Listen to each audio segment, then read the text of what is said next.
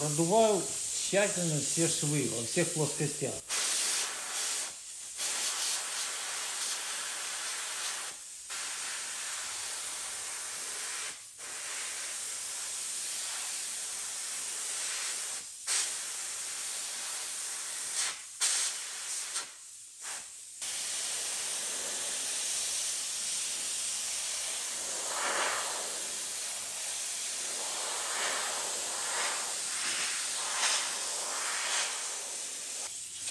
Главное, чтобы внутри шва не светился э, светлый материал. Он должен быть именно черным внутри.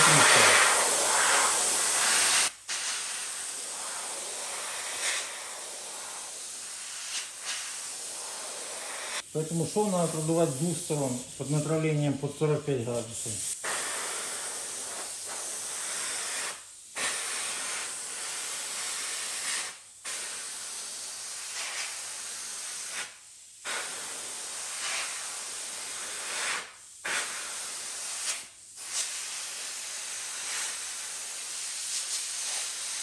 Надо выставлять рукой. В зависимости от того, какая э, масса воздуха идет и количество материала подаваемого. Тут расстояние, ну это каждый сам для себя выставляет. Я обычно 5-6 сантиметров, не больше. Просто при большем факел разлетается.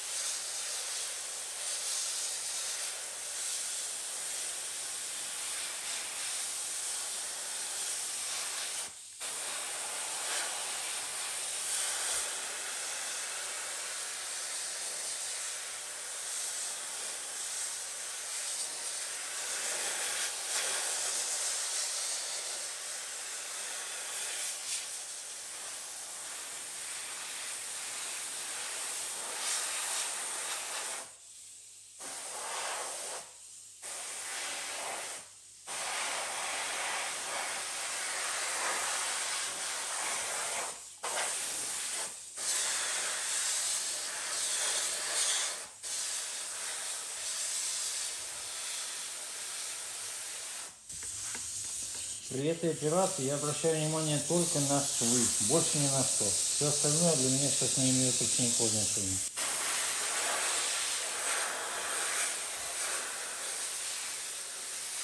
Двести сороковую шкуру беру, ну, не забитую. Протираю ее до светлого дерева. У меня остаются только швы черные.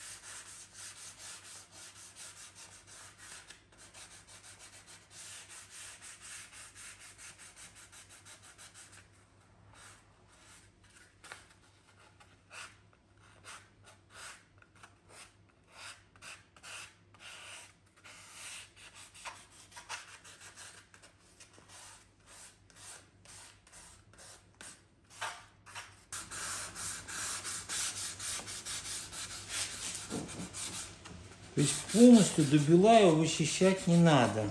То есть в структуре дерева тоже должны остаться какие-то черные царапины самой доски. То есть вот эти уголки тоже вычищать, естественно, полностью не надо. Они должны создавать ореол черноты.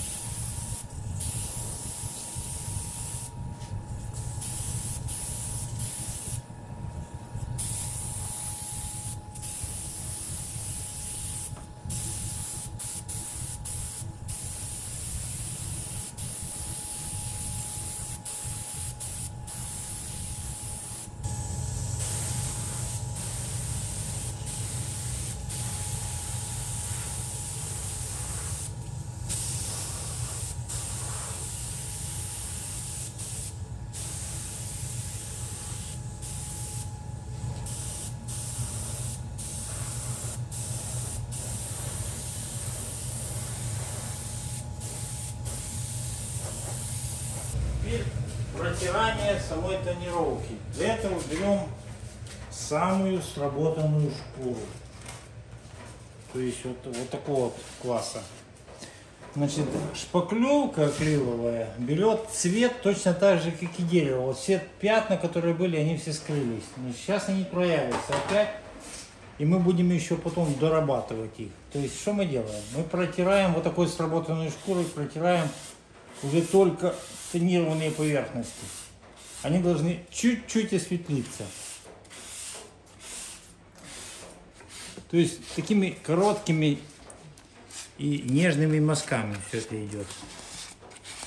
То есть тут уже э, зашлифовывать углы уже не надо. То есть надо очень аккуратно протирать уже здесь. Поэтому и шкура здесь используется, ну, убитая уже смерть. Она появляется, эта шкура, после работы с самим корпусом, вышлифования деталей, эта шкура сама появится. То есть ее не надо специально готовить.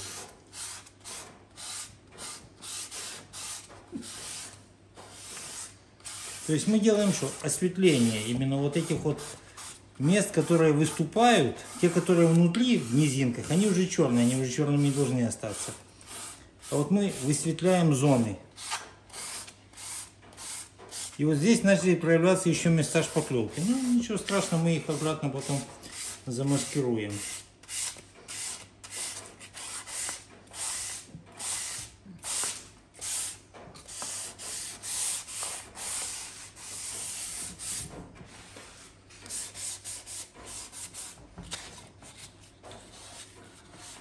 Вот у нас вылезли места, которые светлая шпаклевка. Она проявилась еще раз.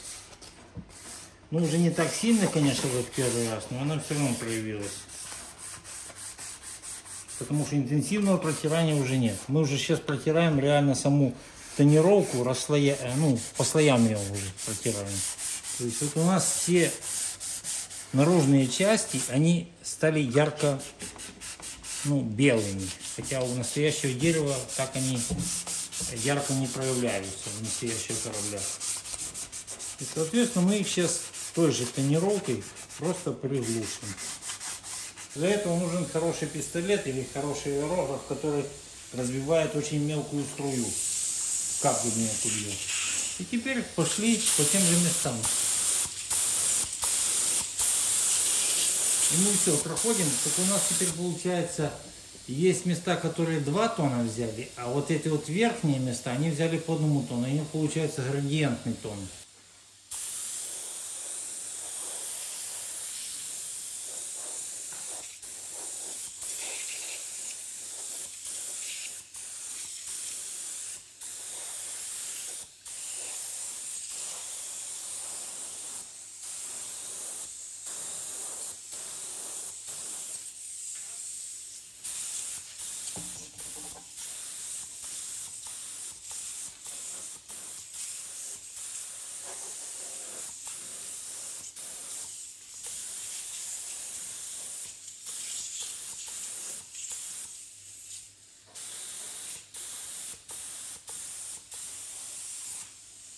Так, и теперь берем патину опять.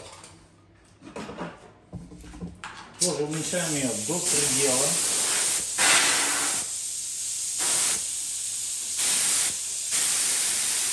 Чтобы она еле-еле давала. Это даст нам возможность тонко подвести самые нужные места. И вот сейчас мы начинаем вот эти места подводить. То есть все углы просто надуваем черной патиной.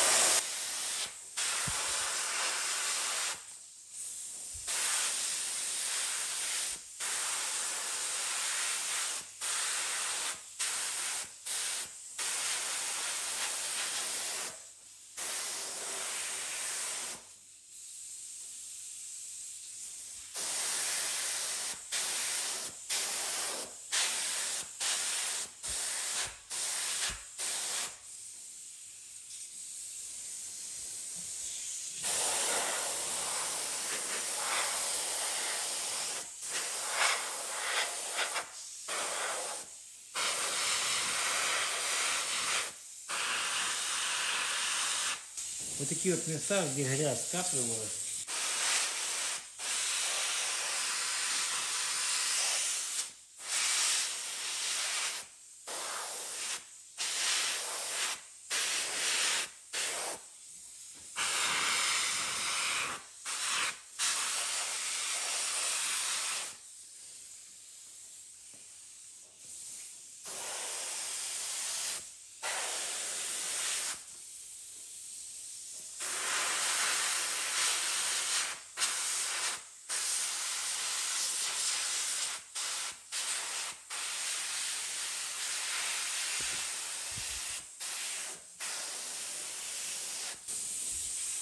Вот, и теперь уходим на зону ниже ватерлинии. Она должна э, градиентно уходить в темноту. То есть здесь можно чуть добавить. Ну, чтобы там было. Никогда не спешить.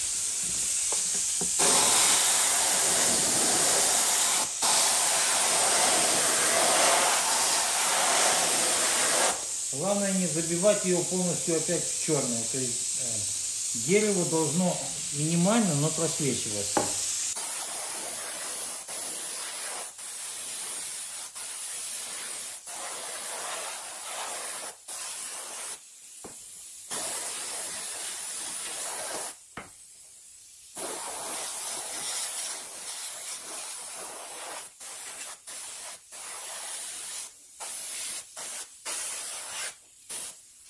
Ну и смотрим на всю картину борта, то есть смотрим места, которые должны быть более темными. И находим их интуитивно.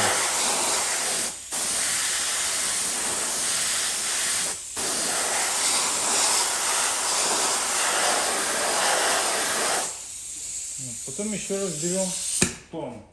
Для того, чтобы она была все-таки не сильно такая черная. Ну и добиваем низ именно тоном уже. Чтобы он темно-коричневый получился. Черно-темно-коричневый. Тут даже цвет реально не опишешь. Чтобы он был на пару тонов ниже, темнее.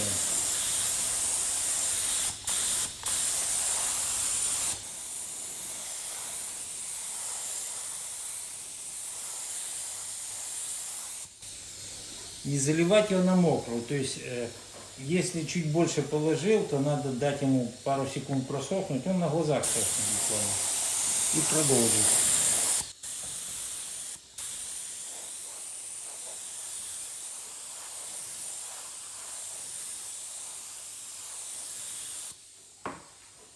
Вот мы когда так смотрим, то он явно темнее, э, днище получается, но при этом коричневый цвет, оттенок, все равно остается.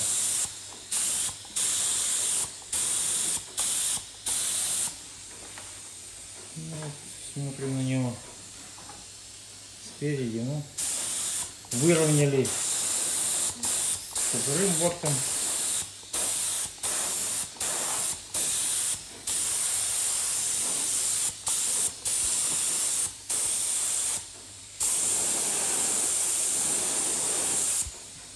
Вот. Ну и по килю я даю тоже больше черноты по штемням.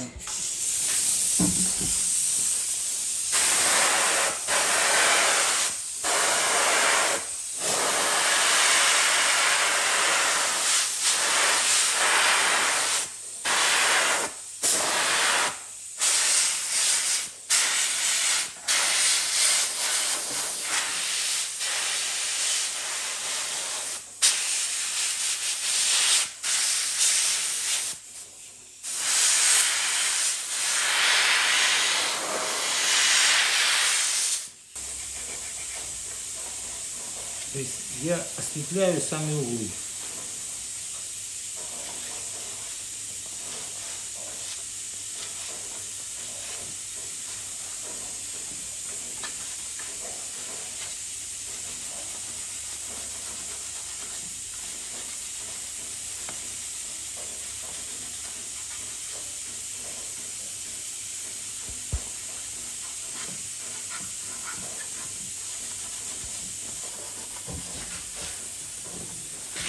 Потом все эти места прибью еще раз тоном.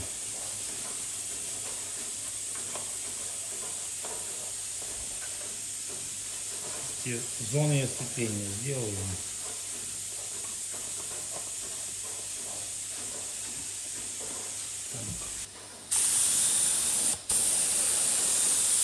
Я вот эти все зоны, которые осветил, я чуть-чуть пробиваю, чтобы они не такие контрастные были. Есть корма, которую я выровняю.